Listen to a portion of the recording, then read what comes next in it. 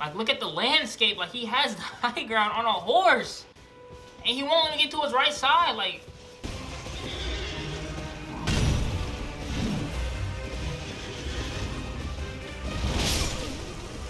I paused for a second because I couldn't see him. And then he just stands over my body. I tell you, man, I tell you, I tells you, man, I tells you.